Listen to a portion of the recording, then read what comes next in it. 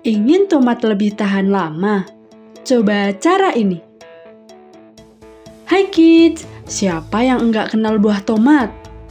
Tomat menjadi salah satu buah yang mudah busuk jika kita enggak menyimpannya dengan benar.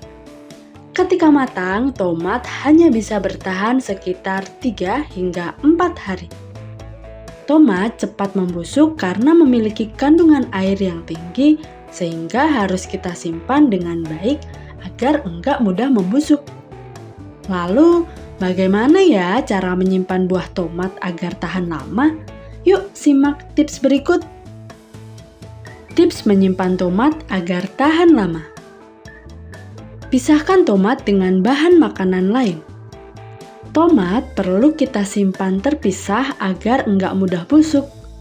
Bahan makanan yang mudah busuk juga perlu disimpan terpisah dengan bahan makanan lainnya. Selain tomat, sayur juga lebih awet jika kita simpan secara terpisah. Simpan di suhu ruangan. Kita bisa menyimpan tomat di suhu ruangan 13 sampai 21 derajat Celcius. Tomat termasuk tanaman tropis yang terbiasa dengan suhu udara normal. Tomat bisa bertahan 2-3 hari hingga membusuk jika disimpan dalam lemari pendingin. Berdasarkan adea.grid.id, tomat bisa bertahan hingga 2 bulan jika disimpan dalam freezer. Pastikan untuk membungkus tomat menggunakan kantong plastik ya. Sebelum kita lanjut videonya, jangan lupa klik tombol subscribe dan tombol loncengnya ya.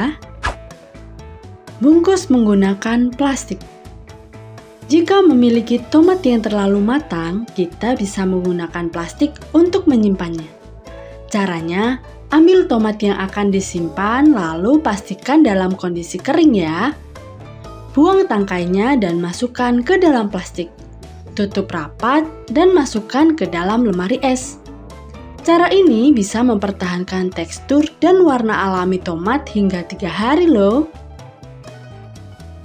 Jangan buang tangkai hijaunya.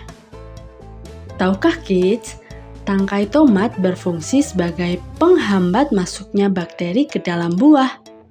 Tomat enggak akan cepat matang atau mudah busuk jika masih ada tangkainya. Jika membeli tomat tanpa tangkai, kita bisa menempelkan plester atau selotip pada pangkal buah agar tetap segar. Tomat akan tahan lebih lama dan terlihat segar. Simpan dengan posisi terbalik.